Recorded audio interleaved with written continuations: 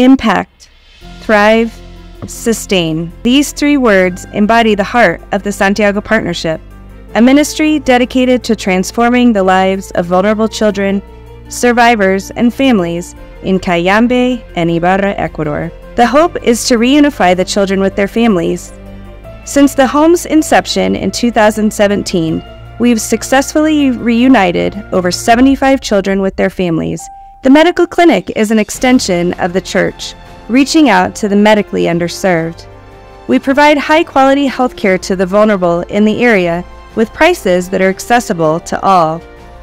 We want Forever Flowers to generate the funds necessary to sustain our ministries, and we're dreaming big.